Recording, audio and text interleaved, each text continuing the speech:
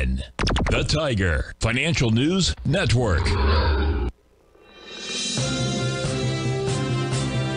TFNN.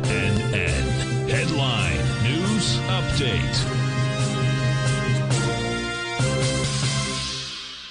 Good morning, everyone. Basil Chapman here on this Thursday, the uh, 14th of March. And thank you to Tommy O'Brien for starting us off. Great start off. Market kickoff, uh, 9 o'clock. Here we are at 10 o'clock, Tiger Financial News Network market update.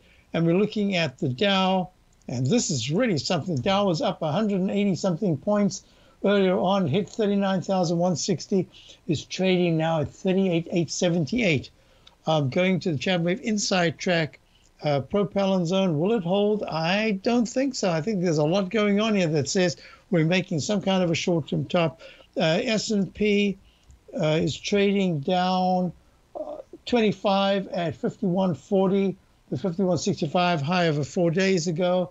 Um, we went to the inside track repellent zone. I'll be talking about these and explaining how to use them in my webinar coming up on Tuesday for subscribers to my opening call. You can become a subscriber. Check out the front page. QQQ. QQQ is down 2.65, 2.70. Oh, what a quick move.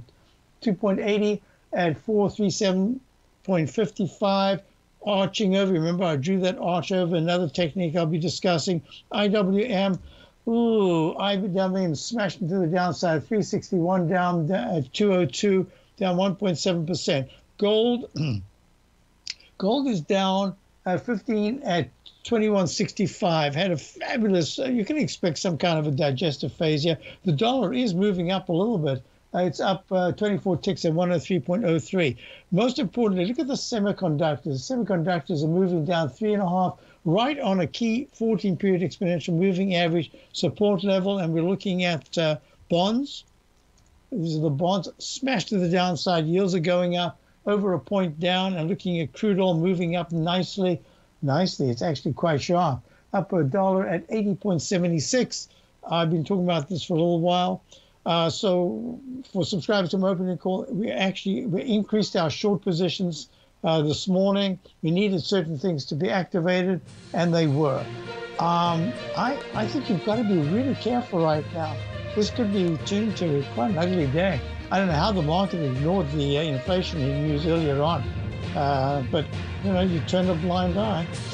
Things can happen. I'll be back in a moment for the Tiger Technicians Hour. Check out my opening call daily newsletter. See you in a few moments.